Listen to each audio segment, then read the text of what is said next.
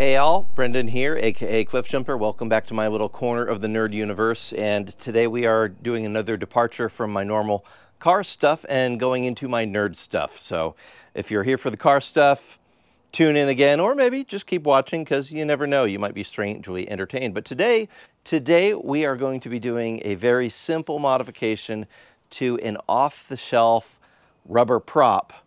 Tune in, we will continue with that. All right, so uh, if you're just watching for the first time, I am a member of the 501st. I've been part of the organization since early 2000s. I've got a few costumes, and one of them is a TIE Pilot Reserve. And uh, an optional extra for the TIE Pilot costume is to have a blaster. Well, I was at a uh, convention, Comic-Con, and I picked up this rubber blaster, which is really cool, but it has one problem.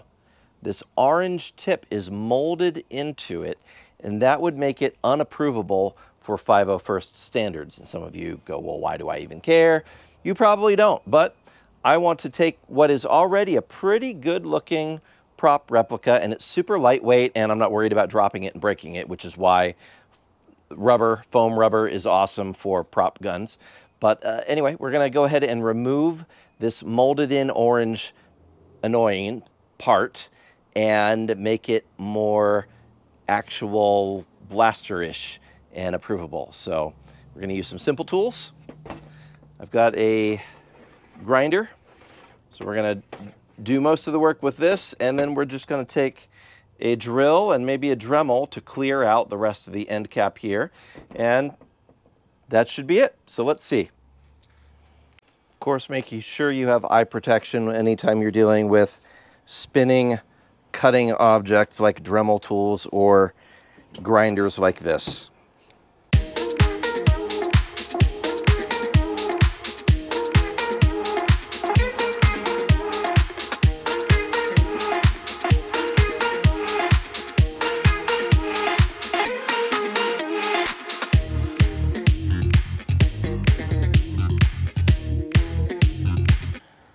Okay, that gets us most of the way there. Obviously, there's still a little bit of the orange stuff left. I wanted to leave enough room that I could shave it down evenly here on the front once I got the majority of that cut off. So that's success, but we're already at the profile where it needs to be. So I'll just do a quick shave, get rid of the rest of this little lip here, and then we will start by drilling in and maybe dremeling out, maybe use a sanding wheel to give us an actual barrel.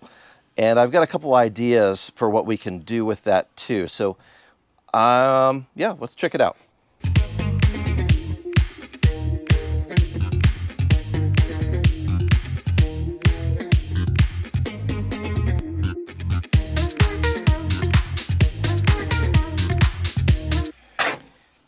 Now, I am not worried about the end of this being perfectly smooth because we're going to drill out that and hollow it so it actually gets a barrel shape.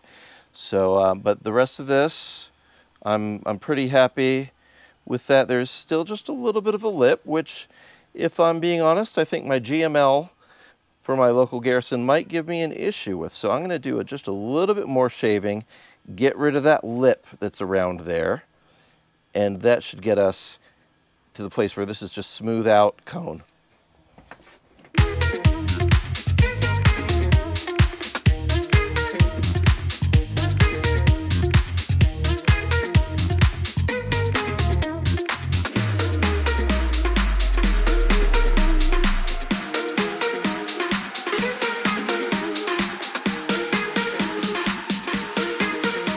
Right, we've gotten rid of the lip, so that's way, way better there, which should be good.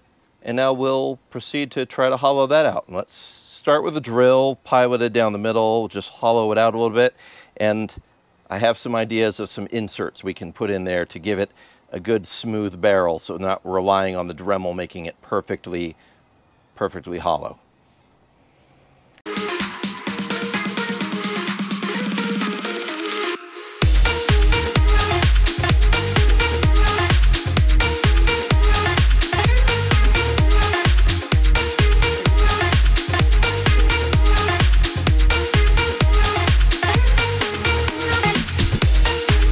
And here's what I'm, here's what I'm thinking for the barrel insert.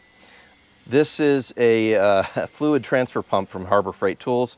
It died, but I'm thinking I could cut off this part here with the, the Dremel and use it as a barrel insert because it'll give us a nice perfectly round barrel, a little bit of a lip inside there. I think that'll work pretty well.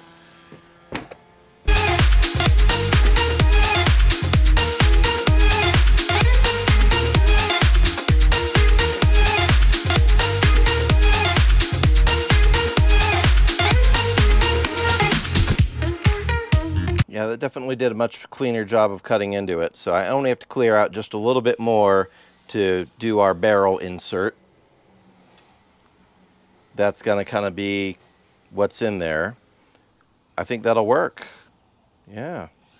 And I may, I may actually just, come to think of it, I may just hollow out a tiny little bit and leave a very thick rubber uh, circumference so that it's got some structure because it is very light rubber. It's squeezable. I don't want it to break while I'm cosplaying. So maybe instead I'm just gonna do a little bit more shaving with the Dremel and skip the barrel insert because that's smooth enough and I'll just do a little bit of painting and, and make it look good.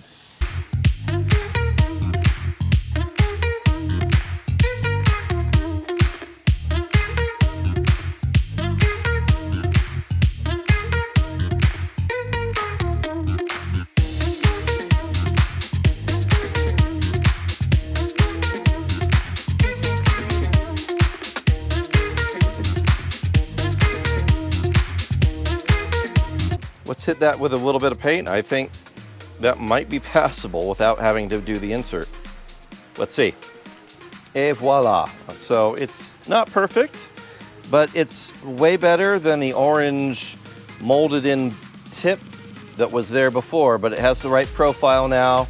We've got the illusion of a blaster, you know, tip, barrel, and uh, this'll this'll do. So for trooping and like a five minute modification, Mischief managed. Of course, the real proof will be when I submit it for approval to my local GML, so we'll see what he thinks of my modification, but I think it's probably gonna do all right. Anyway, thanks for tuning in. Hit like, subscribe, share if that helped you out at all, or just gave you some inspiring ideas to modify what is essentially an off-the-shelf toy and make it into uh, a prop that can go with your cosplay. So, see ya, bye.